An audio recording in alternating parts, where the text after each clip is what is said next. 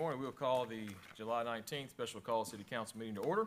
You would please stand and uh, have Councilman Stovall lead our invocation and pledge. Let's pray. Heavenly Father, thank you for this beautiful day that you've given us in our great city. Pray that you would be with us as we um, make decisions on on behalf of the city today.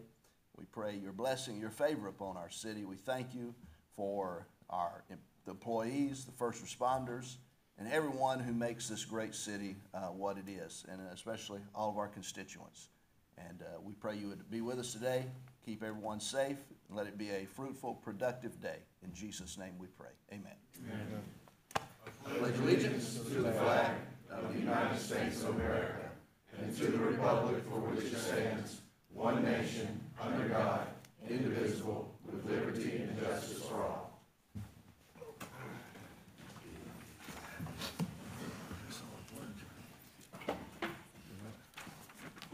All right, uh, next up we have roll call, and Marquise, you see that have all council members present with Councilmember Holt on her way. Uh, invitation for public comments, we have three signed up, we'll start with Dawn Sanders.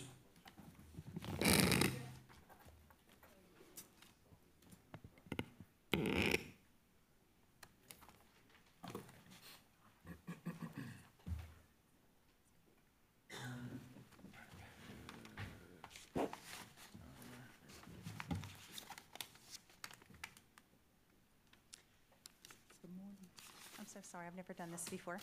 Good morning. I thank you, guys. My name is Dawn Sanders. Um, I'm a nurse practitioner here in Jackson. I'm a long-term resident of Jackson. I recently came back in 2018, and I am in District 7. I'm very lucky and proud at this point to be represented by Miss Marta Wallace, who has very graciously dealt with concerns from members of my neighborhood for several years now.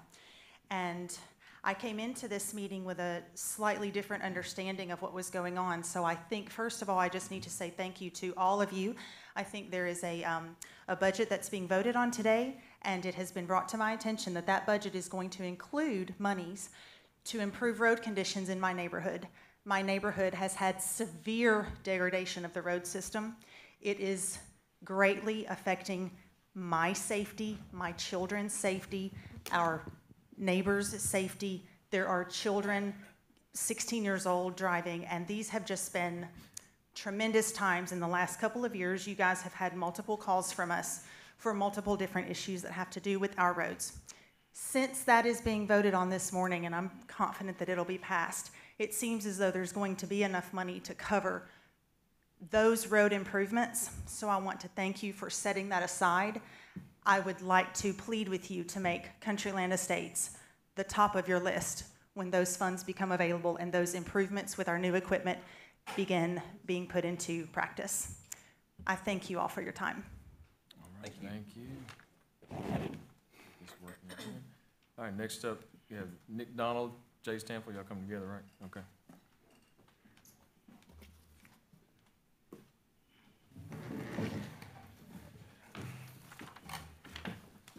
Lieutenant Nick Donald, Jackson Police Department, and this is uh, Jay Stanfield with Sergeant, uh, with the Police Department. I want to say a few words. Let's start. Dick brought this to our attention that uh, we just want to highlight, I've been here in the city going on 24 years. uh, Grew up in Madison County, uh, lived on Montclair Street. Matter of fact, Mayor Conger, your grandmother was my third grade teacher. Um, Taught half of Jackson. Lifelong resident of Madison County outside of my time in college and brief stint in the Marine Corps. When I started at JPD, uh, JPD was a magnet um, for individuals in West Tennessee. We drew officers from other departments, but they didn't like us because we paid so well. Uh, We're starting to suffer the effects of neglecting that over the last 16 years, which is certainly not something this administration created. It goes back further than that, but we're reaching a critical mass at the police department. Uh, Today, we work with less people than I started with in 2001. Investigations, uh, Nick, are down, uh, at least officers dedicated to investigations are nearly down half Right. of what they were in 2001. Uh, Patrol officers are still working the same amount of officers uh, when we reach minimum staffing that we had in 2001. We've got to do something. I think y'all are in the right step.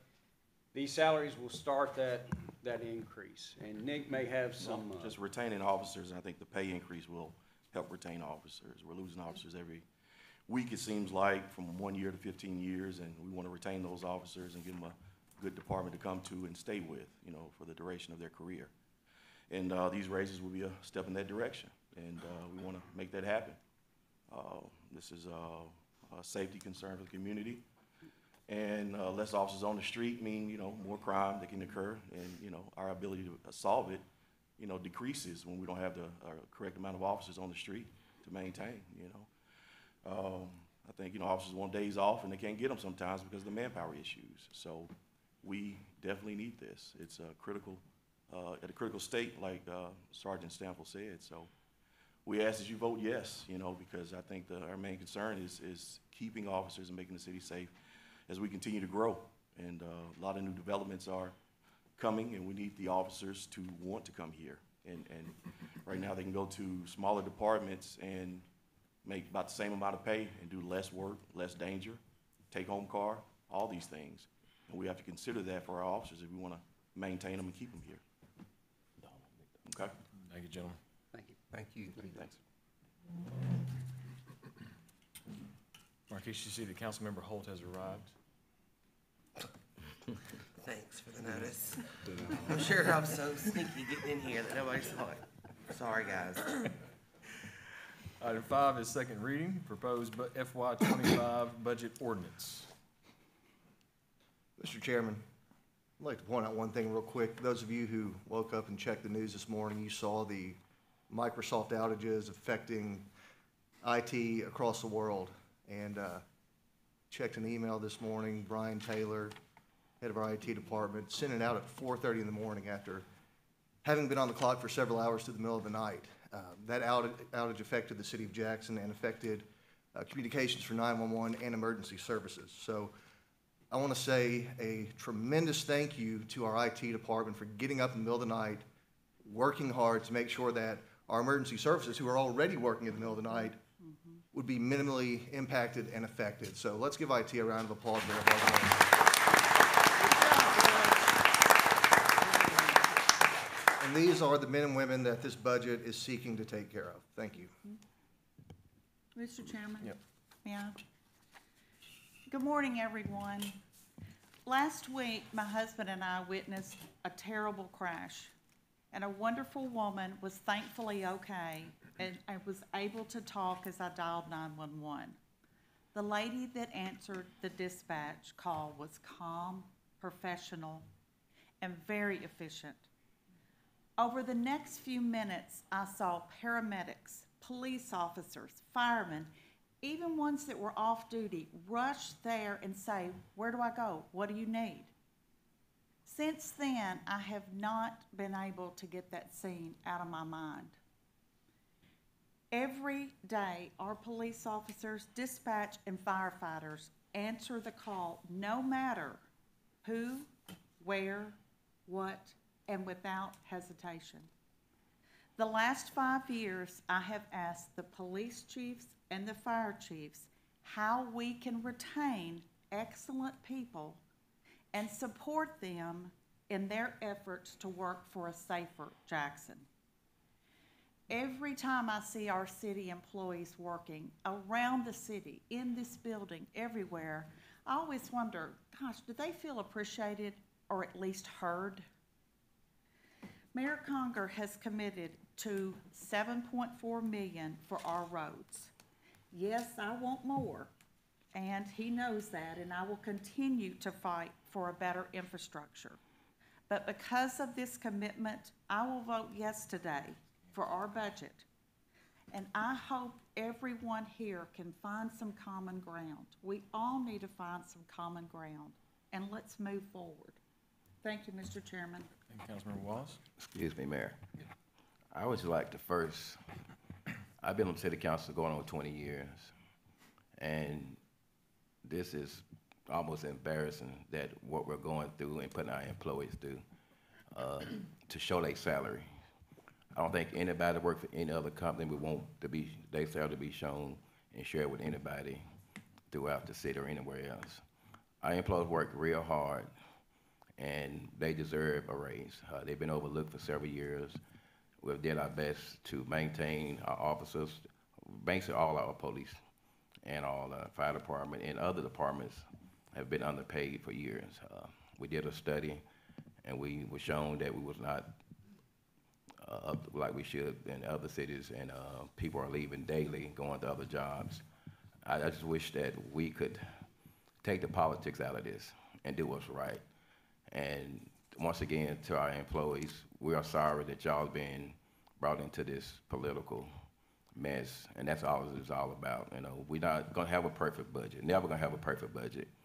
I mean, but I could continue to say, we can't keep on kicking the can down the road. When are we gonna do something about our budget? I mean, as far as, we don't wanna do a tax rate, but look across the country, look across the cities and other areas. We're gonna have to do something. Uh, but um, employers, we are sorry that y'all brought into this. Thank you. And Councilman Dunn, Mayor, I'd like to call for a vote if we could. you gotta have a motion first. I'll make a motion. Second. Motion is second, now we, now we're going to discussion. Oh, I mean, thrilled to hear about this seven million for roads. Where did it come from? The councilman, the council voted on a resolution to issue, to look into debt issue, that's what it's coming from. So it's coming from borrowing money. Do so that- I need to re-explain that, to what a debt, debt issue I is? just want to make sure that everybody heard that. Okay, so, so the budget itself, the operating, the general fund budget did not change. It's just it said separately, we're going to borrow money because we don't have the money we want or need. Now, it's logical that we got to pay that money back. And if we don't have any money now, or we got to raise taxes to get that money? Just a hypothetical question. Uh, This budget has been so challenging to try to learn what's going on and try to make sure it's fair. Uh, We're looking at a twenty percent increase in two years, in overall budget, nine percent this year. Pay increases somewhere around fourteen percent. And I want to say, I agree with what y'all said, police. I have made this statement several times. If you're an accountant in Chester County and you're an accountant in Jackson, job's about the same. If you're a patrolman in Chester County or a patrolman in Jackson, they're not even the same job. So, two years ago, there was a salary increase, which I have passed out to all the uh, councilmen, and- and Bobby has it, to address the problems, uh, if they were. And amazingly, it found out that we're, we're, uh, in a second, thank, yeah, yes.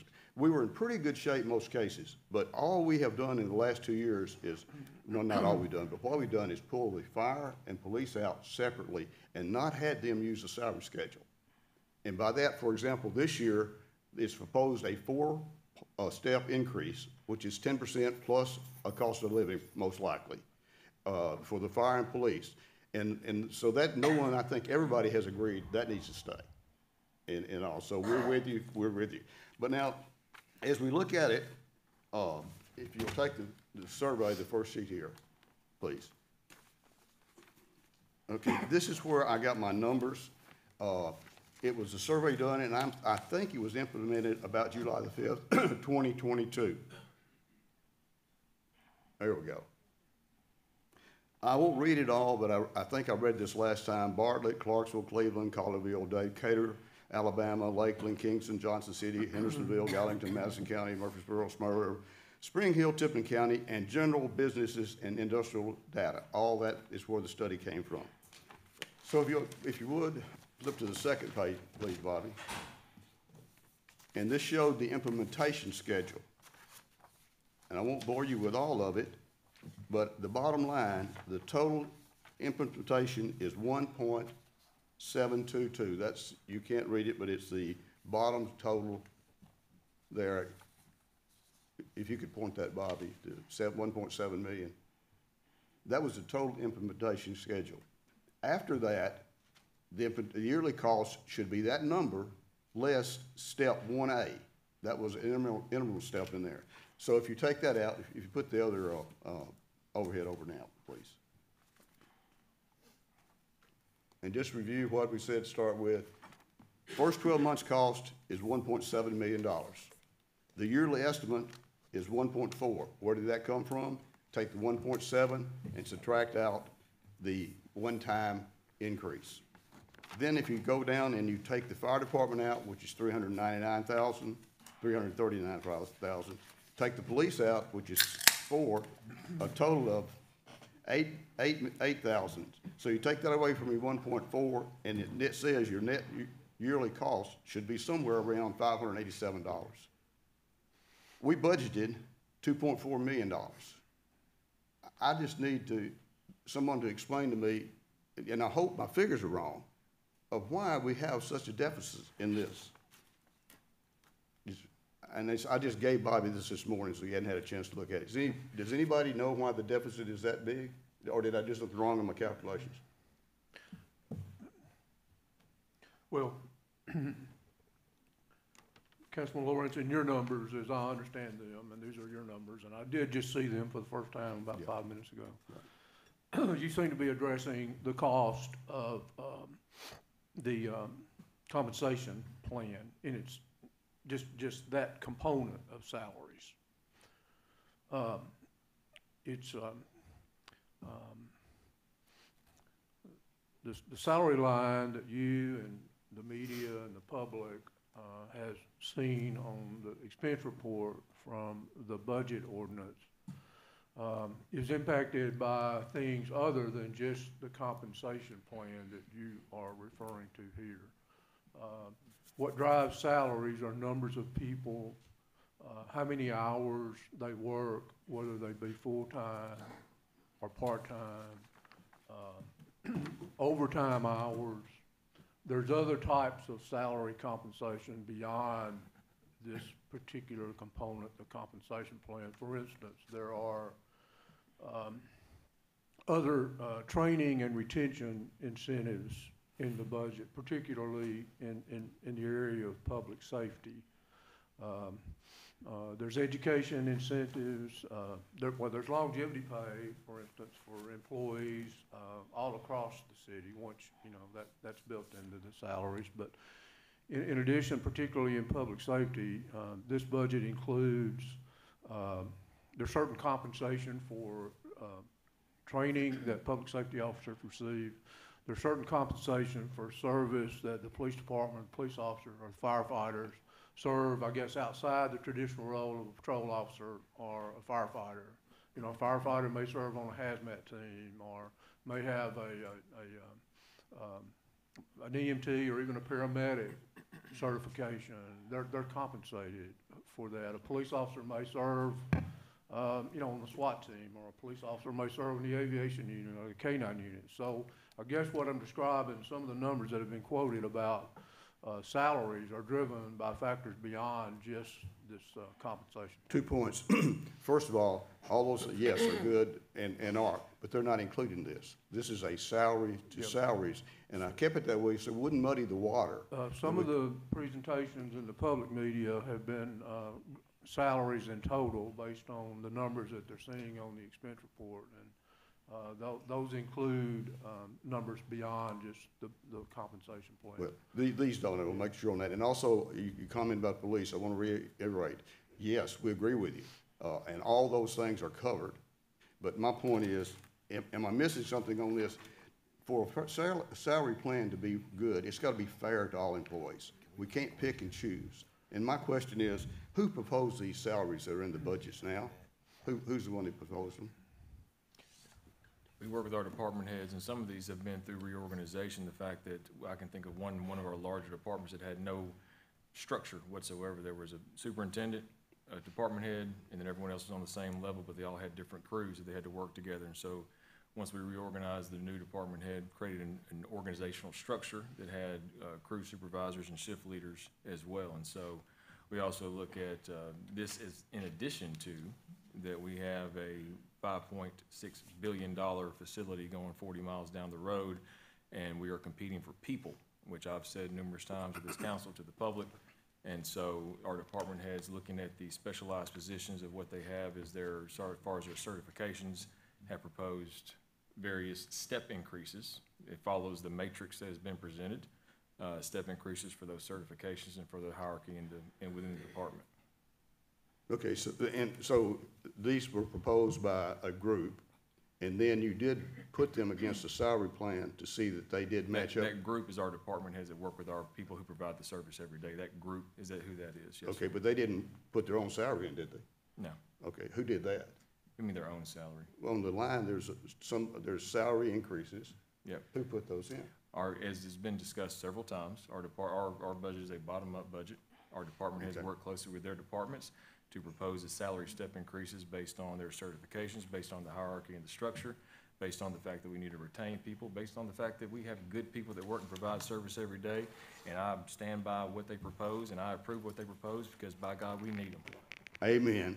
Uh, Let me go back then. that So after you this, agree, Larry? but I, I have the floor. Well, uh, after this was proposed, did someone check it against the salary plan to make sure it matched the salary plan? That's my Yes, question. it goes against the Okay. it goes on steps, not, not uh, just That, that's exactly right, and, and according to the implementation, unless it's extraordinary circumstances such as a promotion or stuff like that, it's one step, which is two point five percent plus a possible cost of living, and this one in the study was recommended that year to be three percent, or a total of five point five percent. So you're telling me that when these proposed, someone took it back to the salary plan, and they are in line with the salary plan? Yes. if that, that, that will answer a bunch of questions. But now, how do we end up with this then? It is not on one step. So if you look at certifications, look at hierarchy of what the department level is, and as far as supervisors and crew leaders, they move, they may move up more than one step if someone's getting a promotion or someone has a different certification. Because I tell you right now, an HVAC guy for the city of Jackson go to the private sector and make double. And Absolutely. So we have to make sure we keep people, and we have to make sure that we keep them. And you asked me a question, I have the floor right now. Had to make sure that we keep people, had to make sure that we had the best people that we had to provide service to the sixty-eight thousand, three hundred and thirty people that live here, and the additional fifty-one percent that come to work here from outside of Madison County. So our people are serving not just the people that live here, but the additional hundred thousand people that come in every single day. I have no problem, and I'm, I'm, I'm- I don't Can know we that we're stop? gonna Call for Can we question, but stop? Mayor. Call for question, I mean, it's, That takes precedent. Call for questions. Council, please vote.